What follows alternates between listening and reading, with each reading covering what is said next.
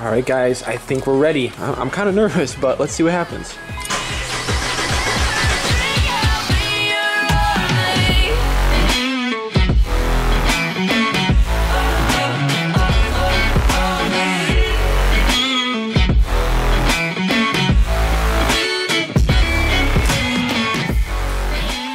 Alright guys, we're finally back at it on Project Vert. I finally got some of my parts in the mail for it, and that means I'm to go ahead and put the GT back on hold so that we can get this thing done. First hurdle that we need to jump over before we start putting everything together is we need to get this pin fixed. You guys can see one of our timing little guide pins is completely snapped off in there. That is our problem. That's why we've been having issues with our timing being off. As you can see, that's what it normally looks like. So that is a little bit of a problem. I have a nice new Gates timing kit right here, which we will continue to unbox later. Main thing for now is we have this little pin here for our timing. This is a genuine Mopar pin. I got it on Rock Auto for I think about like two dollars. And thankfully it shipped with the timing. Kit so i didn't have to like pay ungodly amounts of shipping just for this because look at that's literally all it is. This little piece of crap pin. So what we're gonna have to do is drill out whatever we can of the previous pin, which is gonna be a little sketchy. We're gonna have to be really careful. And then we're gonna go ahead and have to tap this in. I don't know if we're gonna use any heat or anything to do it. I don't wanna like melt our cam seal or anything. From what everybody says, if you get a smaller hammer and gently, gently, carefully tap this in, it works out just fine. So here's hoping that it does. So I actually lowered the motor down just a tiny bit. With the motor fully jacked up, it was actually proving to be more of a challenge because our drill was hitting even when we had the motor jacked up all the way. With it down a little bit, I'm able to position the drill down in here like so and actually get at a better angle.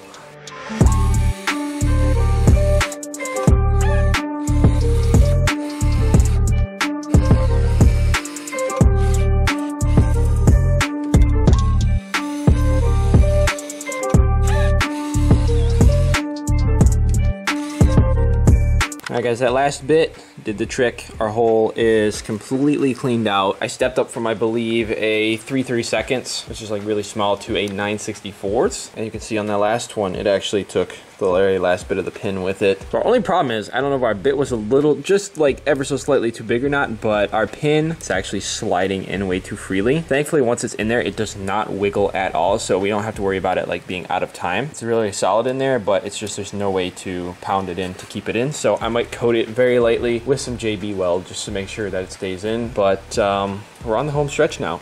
Clean this out with some brake parts cleaner first.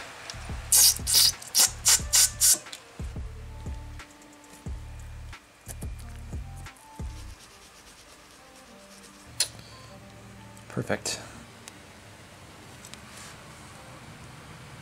I think we're good. Our pin is officially back in, which is huge. Gonna go ahead and give that plenty of time to cure, but we are officially one step in the right direction, which I am super excited about.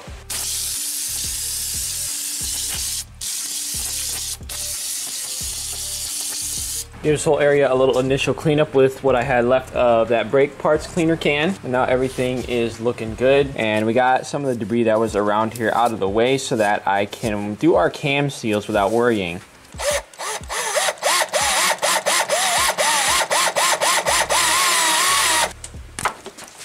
That popped out really easily actually. You can see there's space in there so that you can drill and just as long as you're careful not to poke, that works perfectly to pop these out.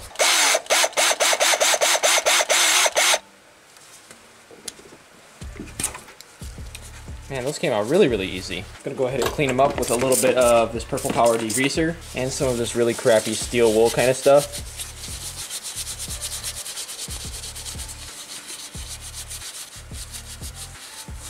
I'm gonna hit them with a little bit more brake parts cleaner.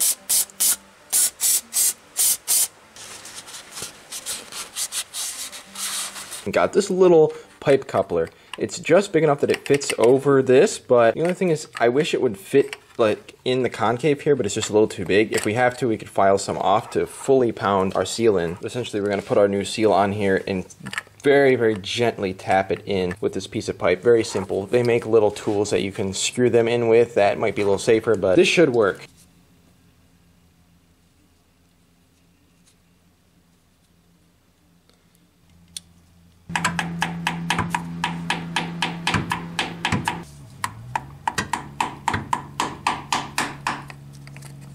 And I think I messed up. Alright, so I went ahead and fixed my mistakes here with the cam seals, and I'll be talking more about it in the next video. But basically, using the gray stuff on these or any sort of like gasket maker or, or anything on these is probably not the best idea because the clearances are so tight, and especially these, they were like part metal. They weren't full uh, rubber outside, so uh, they might seal better, but I don't know. Other aftermarket gaskets might uh, fit in there better or might be easier to tap in, but you just gotta be really careful. And again, I'm gonna talk a little bit more about it and uh, go a little bit more in depth in part two of Timing Belt, the movie, on the other car. That was unfortunate, but we got her in there. I wanna go ahead and unbox our new Gates timing kit. Bought this all as a kit on Rock Auto. It comes with our new water pump, our new tensioner and idler, as well as, of course, our new belt. Pretty cool stuff. It's really cool how you can see like the webbing or whatever in the side. Kind of neat, but there's that. And here's our new tensioners, nice shiny new water pump and gasket, and of course, idler pulley. So since this gasket doesn't like fit in here. What I am going to do is go ahead and use a couple small dabs of gasket maker in a couple spots to keep this gasket seated in place perfectly so that when we put it in the car it will stay perfectly seated and we won't have it slip or anything while we're trying to put it in. I'm going to go ahead and use the red stuff as well.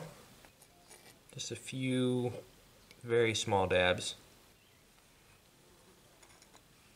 Make sure I don't accidentally get some on the inside here.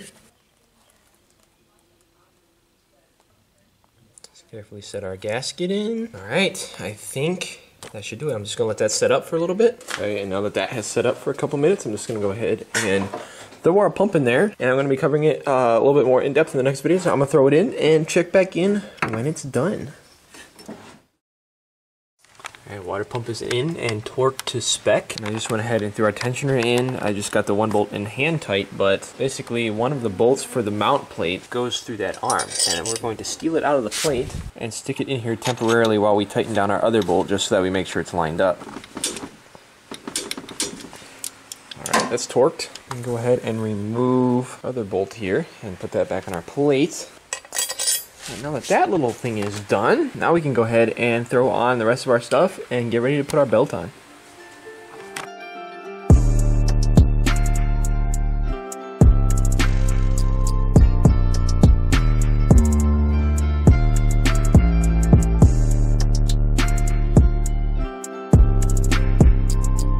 Guys, I made a little bit of a mistake.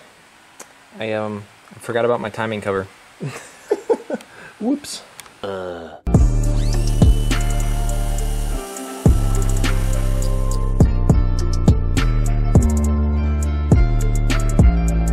Alright guys, take two. Looks a little bit better now. I even got our new motor mount in, which I forgot to do before as well. We got our timing cover back in. So now we just gotta go ahead and torque our nuts, and uh, we're good to start routing our belt.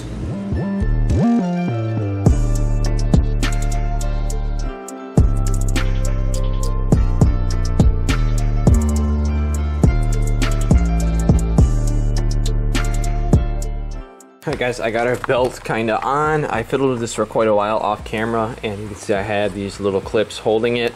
I think it's to be close to time. I hope it's on. We'll see. Might have to adjust it at tooth or two. But um, this is our attempt one at getting it in time. It is quite a bit of a pain to get it on the tensioner pulley, but I will again be covering all of this in depth when we do Timing Belt, the movie, part two on that car. So be sure to stay tuned for that. If you haven't seen part one, be sure to check it out. We got it in here, which is huge. And um, it looks good. Our slack looks good. And I think we're pretty close to our timing mark, but we're gonna see. We're gonna verify it. I gotta go ahead and tighten the tensioner and then spin our crank a couple times to just kind of get the slack out of everything and make sure she's good. So let's see what happens. Using my phone camera with the light to get our alignment groove lined up. All right. Hopefully that stayed lined up. Kind of a pain in the butt. All right, our tensioner is still lined up, so I'm just gonna turn this a few cranks, get any slack out of the belt. All right, we got her perfectly on there, I think. Mm, nope, I think we got our tooth off. 2,000 years later. All right, I fiddled around with the belt some more and I brought the tooth uh, one over and uh, I spun the crank a few times. I got our, our uh, little alignment thing on the tensioner lined up and everything and um, we're looking perfect. According to this part of the factory service manual that I printed, you're supposed to spin the crank a few times to seat everything, and then your mark should be pretty much right on when your crank is centered, and uh, that's what we're looking at right now. So now it's time to move on to our next step, which is finally block testing the car. A lot of debate on the internet whether block tests are accurate or not, but we've had great success with them in the past, and that's what I'm going to do is to kind of make sure that everything is okay or figure out if there is something wrong with our head, which I highly doubt, but we just got to make sure because we don't know the severity of our overheating issue. But since we got this put together, uh, I'm going to leave it there. I'm not going to put it together anymore. I might put one bolt in our motor mount here just to make sure that it doesn't flap around. But now what we're going to do is go ahead and clean up the front of the motor here. Then we're going to go ahead and set our radiator back in here just so that we have some cooling so that we can warm the car up and really do a good accurate block test. But I am going to do that with everything still taken apart and with the motor mounts off. My plan right now is to use my engine crane, which is right here. I have a little two ton Harbor Freight engine crane here. I'm gonna bring that over into here and use that to support the motor while we do our testing and make sure that everything is good to go. But first things first, let's go ahead and start doing some cleaning up and uh, then we can throw our cooling back in.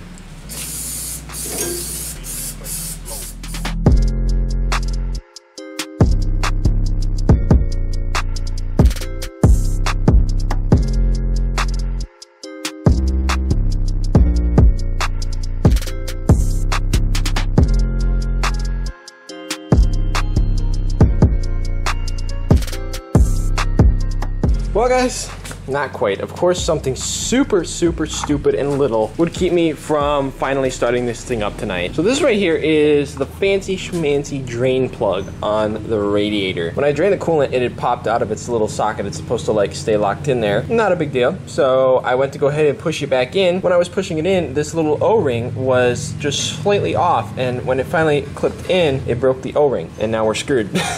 Tomorrow. All right, guys. A new day and a new O-ring. Looks like it should fit on perfectly. Let's see. Nice tight fit. And a couple minutes with a pair of pliers later, we got the drain plug in, it popped right in, and we should be good to go to start adding water. But first, of course, we gotta go ahead and get our engine crane out here and figure out a way to get it situated here over the motor so that we can support it while we start it.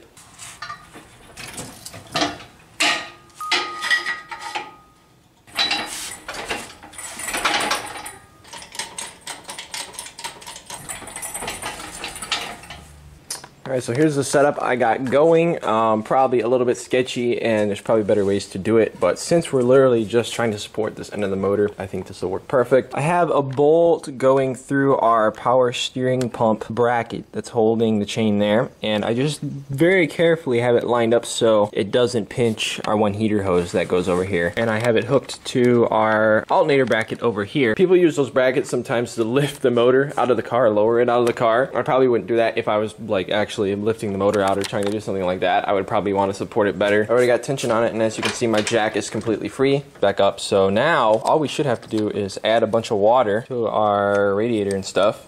Tomorrow for sure. And another day later, we finally have our new drain plug. I ended up getting a whole new drain plug and I feel like an absolute idiot. And I gotta show you guys because you're gonna laugh. Put a new O-ring on this drain plug and it was still leaking. So I'm like, what?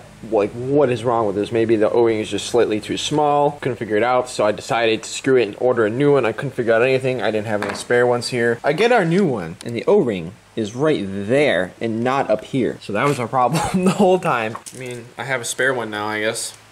So, that was really stupid, but it's okay. Uh, we're gonna go ahead and throw this back in the car. I'm gonna throw this new one in because we have it, and why not? Well, shoot, guys, it's actually holding water now. It's a miracle. I actually raised the motor up a little bit more, just an interesting little thing, but the water was not wanting to drain in. Once I raised the center of the motor up some more, um, it started going in really easily. So just something to think about if you ever have issues with um, getting water to go in there. Does help to have it on an angle there because then it can flow All right, guys, I think we're ready. I've looked everything over. We got the water topped off. Um, there's nothing that's gonna ever get in the way of our timing belt. I went ahead and hooked our cruise control thing back up and the lines back up temporarily just so that we don't get a giant boost leak when we started. Threw our ground wire back in there on a bolt. There's nothing hanging here. I got everything kind of elevated temporarily. Got our battery hooked back up. I don't see anything, anything that could be wrong. Of course, we don't have our alternator and our power steering and stuff hooked up, so we aren't gonna be charging or anything because we don't have our uh, crank sprocket on. Hopefully this holds okay okay. And um, yeah, I'm, I'm kind of nervous, but let's see what happens.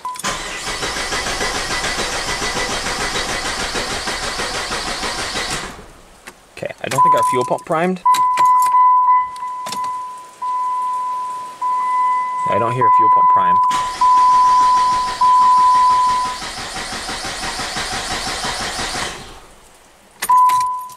Okay, so that's a problem. Okay, we're getting a flashing engine light, so maybe that'll tell us something. Okay, so it looks like an evap code. It says circuit high, which makes me wonder if maybe a ground wire is disconnected or a ground strap. Maybe our ground strap on that side of the motor is disconnected. So on both sides of the front of the car, over in there and over in here, there are ground straps. You can see all those black wires there, that little spaghetti going to this thing. It's all our grounds. And um, I don't know if you can see this, but it looks like a bunch of them tore out. Probably when I was moving these wires around to get at everything, this was already corroded and they just went yeet. So I'm betting dollars to donuts that that is our issue. So I'm gonna go ahead and redo that. As you guys can now see, there's our wires. I went ahead and pulled them out of our little thing here, trimmed what I had to. Um, it was pretty shot. Wires were definitely free already. So, gotta go ahead and strip the coating off of all of these. I think there's, how many? Seven, eight, there's nine wires in total on this. I have this new little eyelet that I'm just gonna crimp on there. Eternity later. All right, guys, that was a bit of a pain, but I got a semi-temporary solution going on here. I got the wires twisted together and crimped best I could. Um, it was really hard to get them stripped because they were just so corroded. I mean, you guys can see just like how bad they were in the old one, and uh, the ends of the wires were pretty bad. So I cut them back a tiny bit, but I didn't want to get too ahead of myself. Then we'll have to redo it with an eye hook that's better and maybe solder something up so that this stays solid. But it's time to try again. Okay, that started right up. It is idling high. The car is stabilized and sounds really, really good actually. Like it sounds like it's running really well, which I'm really excited about. So um, hopefully this goes well. Give it a little rev. It sounds so good. I can't imagine that there's any issues. So far, everything is going well. All right, guys, she's right at operating temperature. I got our fluid in our block tester right up to the line. So here's hoping this goes okay.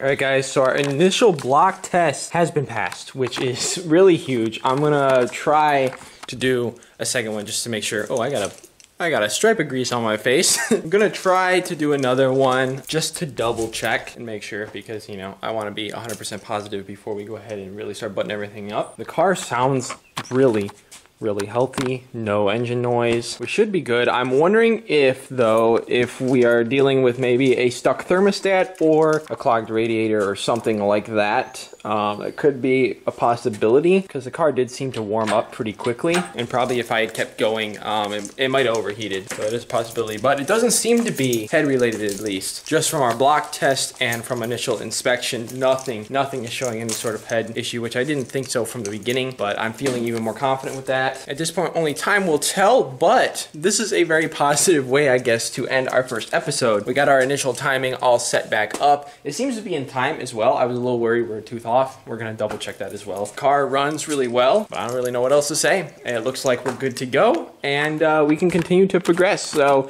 in the next episode, you're gonna see us redo some suspension components, continue to button everything up, double check everything, make sure we're good to go. This was our initial put together and test video. I'm very happy with the results of it, that's for sure. So the next episode, we're really gonna be buttoning things up, maybe even going for our first drive. I don't know, we'll see. But this thing is very close, maybe a couple days away from hitting the road again, as long as we don't run into any major roadblocks. We also need to fix our oil pressure gauge, and I'm probably going to try to wire up an oil pressure gauge temporarily just to make sure that um, we're good there before we throw everything together. So all of that you have to look forward to in the next episode. It's going to be a big one, but I hope you guys enjoyed this one. We made some huge progress, and I can't wait to get both these cars done. Be sure to stay tuned for Timing Belt the Movie Part 2 as well coming on this car. But again, guys, thank you so much for the support on this project, and I hope you enjoyed this one. Give it a fat thumbs up if you did. If you haven't already subscribed, you gotta go down there, hit that subscribe button, and turn on your notifications. Thanks again, guys. You rock. God bless, and I will see you in the next one.